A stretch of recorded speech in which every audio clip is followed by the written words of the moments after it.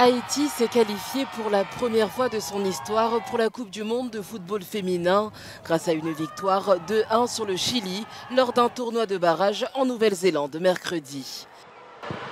La sélection haïtienne, classée 55e au monde, rejoint l'Angleterre, le Danemark et la Chine dans le groupe D. Bah, J'arrête pas de le répéter, on est très contente de pouvoir se qualifier pour cette Coupe du Monde. Euh, C'est une entrée euh, on est rentré dans l'histoire. On est très contente.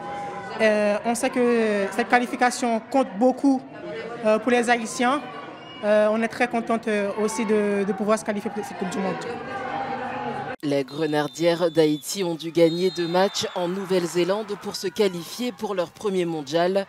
Avant de s'affirmer face au Chili grâce à un doublé de Melchi Dumornay, nouvelle recrue de l'Olympique lyonnais, elles ont battu le Sénégal 4-0. C'était un match euh, assez incroyable et difficile parce qu'il y a eu des temps forts, temps faibles dans le match. Euh, on savait qu'il fallait rester groupés, ensemble, il fallait faire les efforts. Et on, a su qu'aussi on a des joueuses euh, rapides, techniques qui pouvaient faire la différence. Et on, savait qu'il fallait jouer à l'opposé pour chercher les 1 contre 1, faire la différence. Et je suis très contente de pouvoir marquer mes deux buts, donc je suis très contente. Quoi.